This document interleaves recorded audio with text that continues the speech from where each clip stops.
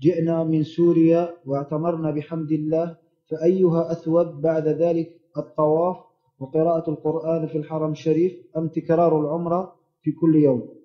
لا الأفضل أن تبقوا في المسجد الحرام. تعتكفوا في المسجد الحرام في هذه الأيام المباركة. تصلون فيه الصلاة الواحدة عن مائة ألف صلاة. وتطوفون بالبيت وتقرؤون القرآن تذكرون الله وتعتكفون. البقاء البقاء في الحرم في المسجد الحرام عبادة. الجلوس فيه عبادة. إذا نويت بذلك الأجر والثواب. هذا أفضل من تكرار العمرة. نعم.